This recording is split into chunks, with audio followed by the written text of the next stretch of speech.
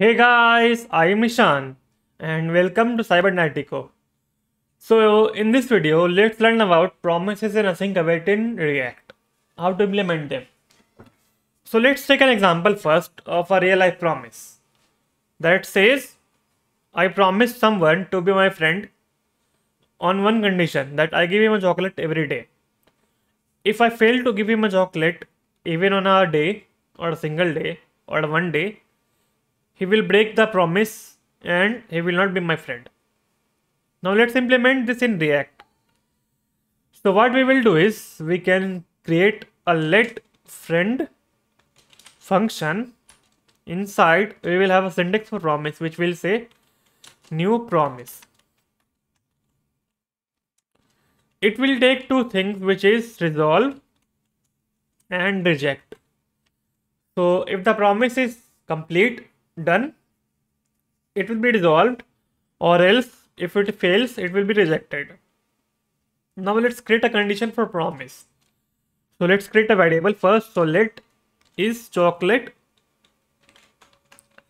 every day.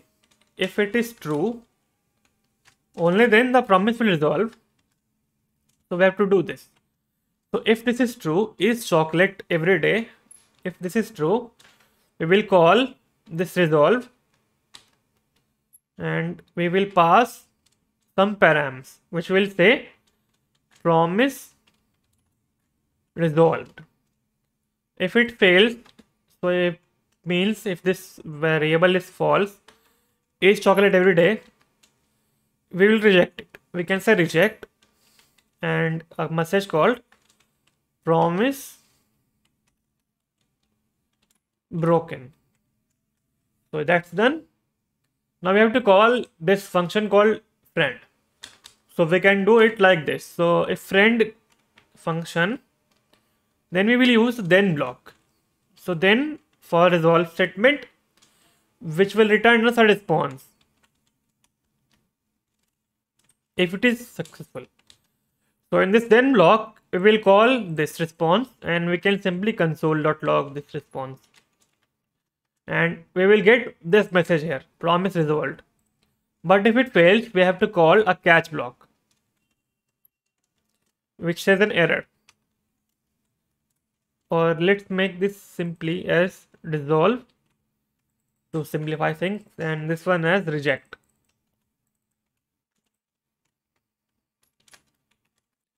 Clg reject now open the console and let's see what we are getting in the console.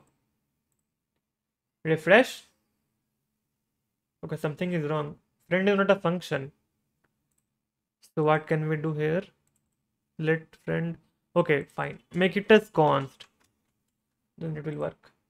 Okay, the problem is this is not a function. So let me clear this. Save and let me refresh the page. Now it will work. So promise resolved because we are resolving the promise. It's true, then it's returning this thing.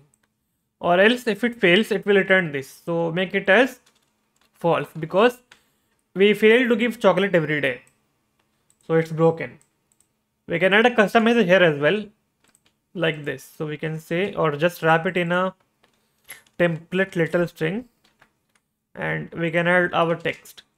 No dot add here, dot here and say no more?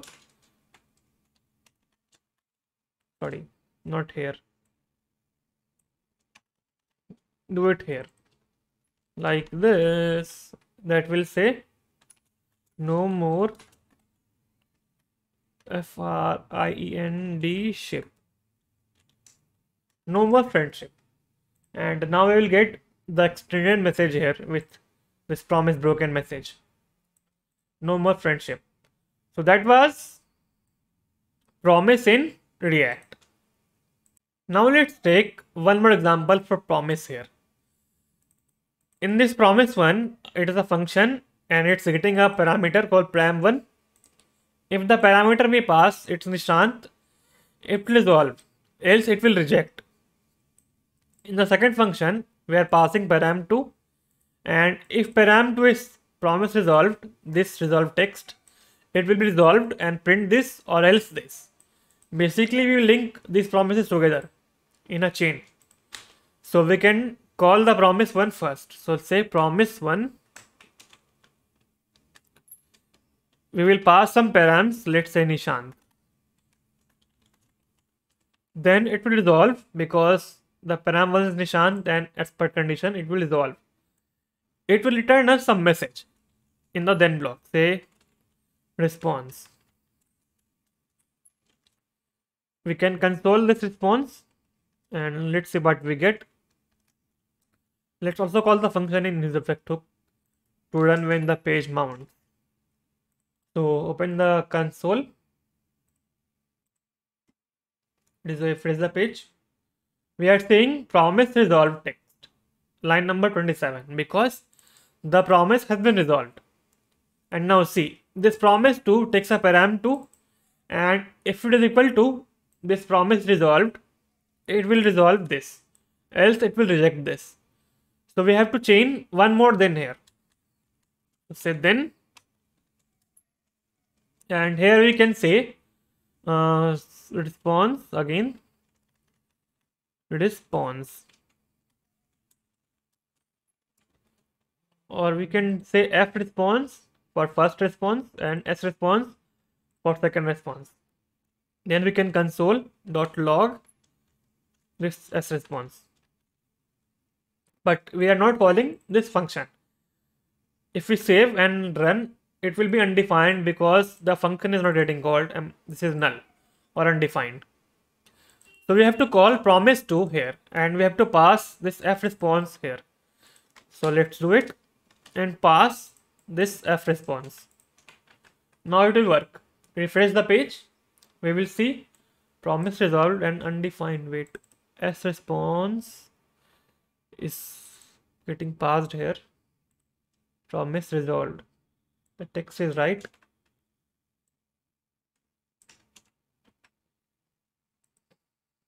Let me add one more block called else or catch error block. So the catch if it is an any error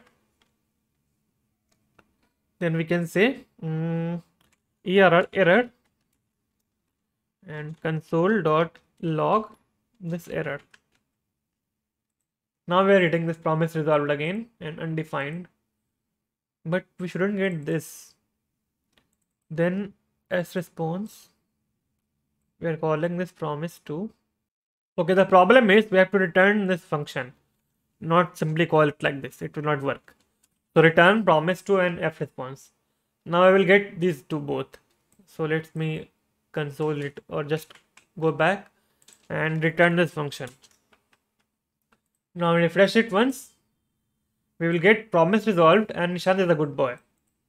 So basically we are getting first response and second response.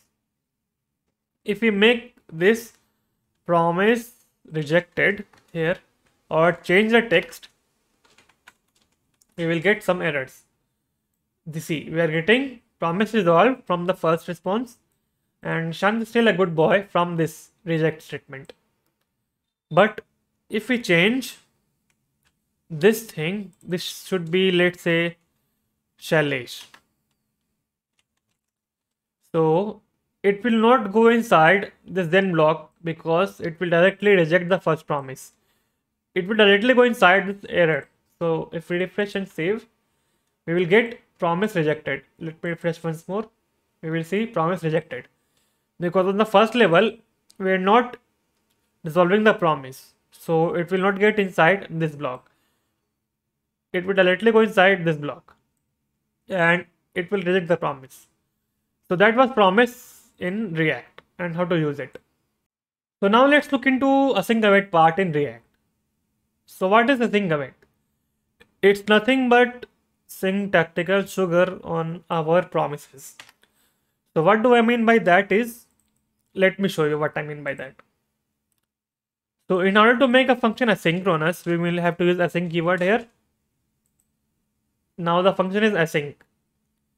We have to call await now. So we have to call the function now. This is promise one function. So it simplifies the way we write promises. That's all nothing else. So we will await this function, promise one. And await means everything else in the promise or in this promise main function will wait until this function is finished executing. So let me record the response in a variable called response or res. Now let me console this res to see what we are getting. We should say nothing or we should reject it because the name is Shailesh here, not Nishant, and it's not matching together. So open the console. Console. We will see promise rejected because the name is not matching. So let's pass Nishant here or make the param 1 equal to Nishant.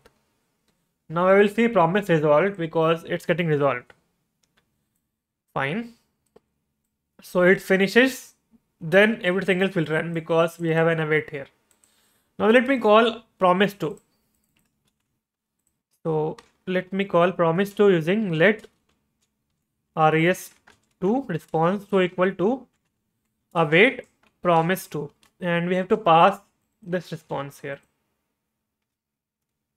because it's promise result it will it will come here and then it will print this if it resolves so we can console.log second one as well which will say res2 and we can save the file and check. Refresh it once. We will see promise resolved. And Nishant is a good boy. Fine. But we cannot catch errors here. But we I mean if we want to catch errors let's say we don't pass anything in the promise to where is it here let's say you pass something else called some random text we will get this message here. So we cannot add a custom message we want in this async await. Oh, because, but we can. So what we have to do is we have to wrap it in a try catch, try catch block. So try, all our code will go inside try that can fail. And then if it fails, we will call catch like this. Is that right? Do we have to call catch like this? Let's think or try. So in the catch, we can say console.log. Uh, we can say promise rejected. I think we don't have to use this. Save and now let's see. Yes, that works. Promise rejected because we are passing some random text here. Not the text that's here and being compared to param2.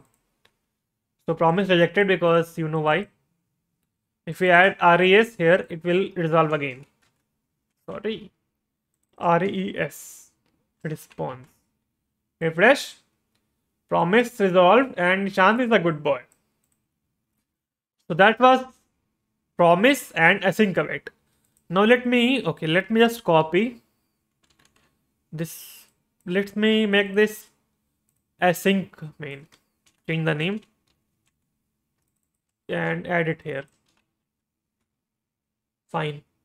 Now let me do this. Copy the function or the use effect hook together and go back to promises page or where we wrote the promise code and simply paste it here.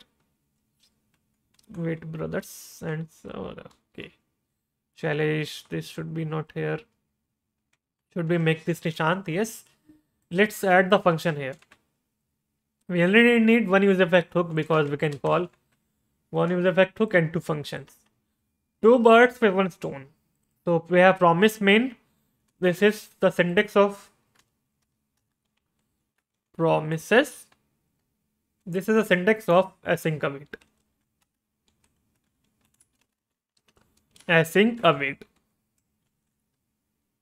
So you can decide which one we do you want to use if you want to use promise or async await. I prefer async await because the code is shorter and simplified. Not this then and then and catch. So that's up to you now. And that was all about promises and async await in React. The implementation.